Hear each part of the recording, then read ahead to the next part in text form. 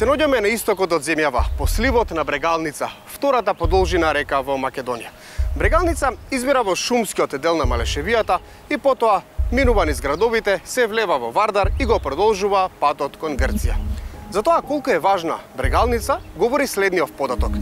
15 општини од источно-планскиот регион го делат брегалничкиот басен, кој зафаќа околу 17% од територијата на целата држава. Се проценува дека овде живеат околу 216.000 луѓе. Дел од нив многу директно зависат од брегалница, но тоа станува се поголем проблем. Загаденоста на реката е се повидлива и затоа повеќе не смее да се молчи. Од тука, ова е нашата тема во Разбистри се.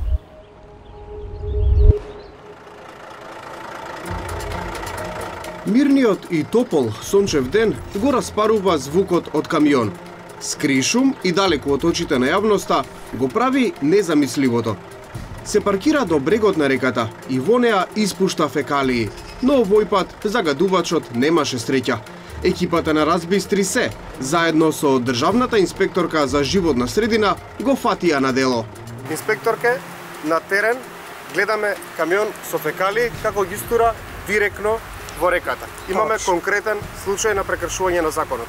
Како ќе Точно. постапи инспекторатот? Во право сте ги го приметивме, го уловевме. Тој значи сега настанува да ведам, да ги фокусирам доказните елементи за да најдам кој е, од каде и што како. Па отом потом идеме у офанзива, ние тоа тако викаме законски, у прекршоци што како ќе следи. Ова е забране. Што го видовте и вие што го снимав. Тоа не треба. Колку казна би можел да заработи за вакво нешто? Па од 100.000 евра нагоре. Големи пари затоа што луѓето мислат дека сега слободно гомнарката ќе ја наполни со гомна и ќе дое во брегалница ќе ја испрст. Тоа е грешка. Тоа не треба. Така има други елементи на собирање таков тип на отпад, така да ќе видиме, сега ќе најдеме кој е, што е, како е. А кого да прашаш за загаденоста на реката, ако не оние кои што најдобро ја познаваат брегалница, рибарите. Со Чичко Славе, додека ловеше клен, си направивме убав муабет, ама за не толку убави работи. И тој сведочи за големата загаденост на брегалница. Чичко Славе, колку често доаѓате овде? Па ти кажем, многу не доаѓам, ама Опа! ретко. Оп, Ај, честито. у неделата еднаш два пати. Која поред вие што ја вадите? Па 7-8 ли се, тука 10 ли се. Ама водава нечиста. Тука е канала, натока е чиста. Се грижи ли Дека е почна. Нема, не се движи. Кој ќе се движи? Имаме ние, што се вика, а, риболовно друштво имаме. Што дека риболовно друштво, докаде има вода, ово не довод. Доаѓа човеците. А во што се загадува, во не ги интересира тоа. ни. Треба да се изгради нешто пречистителна Би требало, би требало, ама кој ќе направи тоа таа почистителна станица? Читав Нема. негде дека штипските рибари се жалат дека се испу... често има еколошки инциденти во брегалници, а дека пуштаат фабрикиве. Да, да, има, има. За тоа има. Има. Сте виделе вие Па скоро, па скоро беше, скоро имаше модра водата беше дојдела. А дека дојдела водата нема појма. И оние кои одат во прошетка на кеот на брегалница не се за пофалба. Расфрланиот отпад на брегот самиот говори за нивната некултура. Причините за големата загаденост на брегалница може да се поделат во три групи. Прво, алармантниот податок дека само 4% од отпадната вода од домакинствата се пречистува, иако 78% од нив се приклучени на канализациони системи. Отпадните органски материи придонесуваат за развој на алги и за намалување на кислородот во реките и во акумулациите на штета на рибите. Втора причина за загаденоста на брегалница се земеделските практики, односно несоодветната употреба на ѓубрива и на пестициди. Ова во последно време станува се поголем проблем на кој што треба да се обрне сериозно внимание. И третата и најголема причина зошто загаденоста на брегалница станува алармантна со тенденција на влошување се индустриските капацитети. Низ сливот на реката се лоцирани рудници кои спуштаат тешки метали. Фарми за добиток кои загадуваат со фосфор и со азот. Текстилни погони кои што користат разни химикалии во процесот на производство. Ако ловите риба во реката, треба добро да ја чистите. не предупреди овој рибар. Прво, максимално во Штип има текстилни фабрики. Сите ги ни една текстилна фабрика нема филтер, нема пречистителна станица за отпадните води, сите води доаѓаат во река Брегалница. И ние сме сведоци некој пат на плава боја, на, мод, на модра боја, на травена боја, на бела боја, по течението на Брегалница од Таринци, тука едно штипско село, до до Берово. Има свинјарски фарми и краварски фарми. Не е важно што не се капацитетот не е многу голем, меѓутоа постојат и тие и перат отпадните води од фармите, перат со разни киселини и тоа доваѓа во Брегалница. Од Пробиштипски рудник и од Македонска каменица од рудникот, која јаловиштето кога се откаче, сето доваѓа по брегалница, а чистата вода оде, оде надоле, меѓутоа оловото останува на земја и на дното. И од тоа, од тоа олово ние можеме да бидеме несрекни што цел живот ќе биде реката загадена. И на крајот вие ловите во загадена река. На крајот ловаме во загадена река, а рибата е, ако сте чуле, толку многу сладка и толку многу убава, меѓутоа, јас оти од дете сам риба, знам дека треба многу убаво да ја изчистам рибата. Водната карта во овој крај ја сочинуваат Брегалница со низините 12 притоки, 6 акумулации и двата канали за наводнување. Спроведените анализи покажуваат високи концентрации на фосфор и на нитрити, што го потврдуваат лошиот еколошки статус. Но загрижува што се измерени изголемени концентрации на цинк, бакар, олово и на манган во неколку површински водни тела. Алармот одамна е вклучен, велат екологистите. Сашко пред нас е Брегалница и Кочанско поле и Плачковица. Нема многу вода, ама и да има, реката е загадена. Како екологист, како гледаш на состојбата во Брегалница?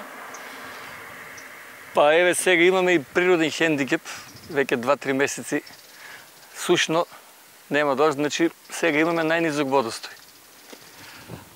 А, Брегалница, втора река по должина у Македонија, 225 км, знаете, би требало да сега овде вода да не можеме да зборуваме, нели, од шумот на водата што ќе биде. Меѓутоа, ова што го гледаме, мислам дека е и под биолошкиот минимум, бидејќи воопшто и не се познава дека е вода. Така да количеството на отпадни води што се фрла од населените места, процентуално гледано во однос на вкупната количина на води е навистина многу голем. Ако земеме во предвид дека од Осоговските планини имаме рудници тамо, а, нели Злетово што е Добрево што го викат руднико и Македонска каменица, и тие имат своји флотациите, апсолутно после таа, како да ја наречеме, мртва вода, токсична, со олово цинк, директно и таа се слева дали директно во брегалници или преку помалите реки, меѓутоа од тој аспект хемиски најголемото загадување мислам дека доаѓа од таму. Индустријските капацитети иако се намалени во однос на минатото, меѓутоа изгледа дека грижата за брегалница и општо за водите на многу ниско ниво. Дали има некој реверзибилен процес како тоа би се вратило или штетата е трајна? Видите, забележено еве и во Брегалница и во Кочанска река, после а, употребата на нашата прочистителна станица, дека одредени видови што биле автохтони тука на, на риби, на ракчиња, што се исчезнати, сега повторно се враќат. Така да мислам дека 100% не е уништено се. Кочани е познат како град на оризот, но климатските сценарија покажуваат дека регионот ќе биде меѓу најпогодените од суша. тоа може да биде погубно, бидејќи самиот процес на производство користи многу вода. А?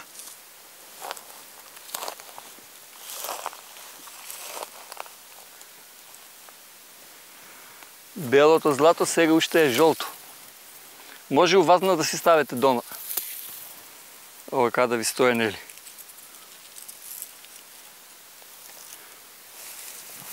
Ај пет со петка да минете. Лошите земјоделски практики и тука се присутни. Иако во последно време има интерес за ориентирање кон органско производство, сепак се уште на оризовите полиња се користат многу пестициди и хербициди. Отпадните води директно се испуштаат во реките. Не се води сметка ниту за состојбата на почвата, па не се постигнуваат очекуваните приноси, а амбалажите од ѓубривата, како физички отпад, завршуваат на полињата, бреговите и во самите водни тела. Премногу препарати, тоа автоматски загадува и почвата, и водата, и веројатно се одразува и на хранливоста на, на кочанскиот ориз. Најголемиот дел од веќе постојните пречистителни станици во регионот се надвор од функција. Оваа цевка во Штип ги собира фекалните води, ама тие на крајот завршуваат во реката, потврдува инспекторката Андреева.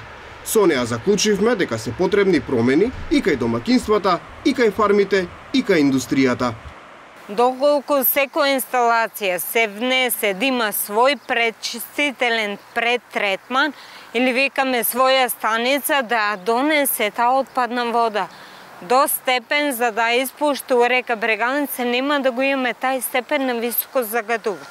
Тоа е почетниот факт. А дека река Брегалница најмногу страда токму од фекализацијата затоа што реалистички гледано фекалните води од секоја урбанизирана средина, секој поголем град, општина, излеваат директно овде. Кога сето тоа ќе се среди, било преку престилни станице, било преку некој друг третман, ќе биде голем плюс за незино, ајде да кажеме, спасување.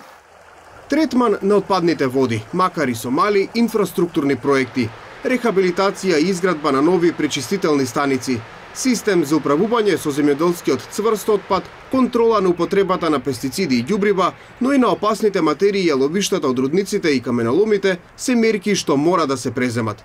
Во Брегалница веќе имаше неколку сериозни еколошки инциденти, кои ги извадија проблемите на површина за побелувањето на реката од хемикалија, која директно беше испуштена од фабрика во зоната, е покрената и судска постапка, а дополнително плановите за отворање нови рудници ја комплицираат и онака лошата состојба. Во ресорното Министерство за животна средина се свесни дека состојбата е далеку од розова. Со швајцарска помош се изработи план за управување со речниот слив на Брегалница и тело за негово спроведување. Евидентирана е таа состојба дека седум пречистителни станици се на подрачјата на Брегалница и дека голем дел од нив не беа во функција во моментот на изработката на планот. Морам да нагласам дека и во рамки на самиот план, документ кој го изготвувавме со помош на швейцарската влада, се пристапи кон а, имплементација на мали инфраструктурни проекти, тоа беа канализации или водоводни системи на 15 општини, а истовремено се а, обезбеди средства и се изградија две пречистителни станици за помал број неквалент жители од 2000, тоа е во општината Чешиново, Блишево и во Карбинци, како и колекторскиот систем во Лозово, бидејќи таму веќе и станицата беше во функција. Мора да нагласам дека и таа станица веќе се рехабилитираше, како и во Свети Николе. Голем предизвик за ова подрече представуваат веќе изградените причистителни станици во Берово и во Кочани, кои представуваат станици кои обезбедуваат секундарен третман од падните води, како такви обезбедуваат подобрување на состојбата на отпадната вода која се испушта во, во реципиентите. Еден од предизвиците во иднина ни е а, поврзување на агломерацијата или на општина Виница со Кочанската пречистителна станица, со колектор, кој ќе се спроведе во рамки на ИПА проект. На тој начин ќе се добие една оптимизација или целосна искористеност на оние пречистителни станици кои се градат со цел нивна одржливост. На вистина, голем проблем во државата представуваат слабата одржливост на овие станици. Во земјава веќе се прават разни социоекономски и сценарија за климатски промени, според кои намалувањето на дотекувањата и истовремено зголемување на поборувачката може да резултира со недостаток на вода во сливот на Брегалница во наредните 30 години. Од пред неколку години постои план за управување со брегалничкиот речен слив. Во него точно се наведени болестите од кои што боледува реката, а за кои, веќе погодувате, главна причина е човекот. Работите мора итно да се менуваат, бидејќи брегалница важи за главниот воден крвоток на истокот од земјава, а со медицинска терминологија оваа важна артерија веќе се зачепува.